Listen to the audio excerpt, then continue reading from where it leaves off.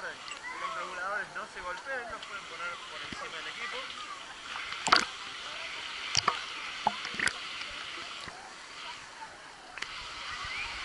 del equipo.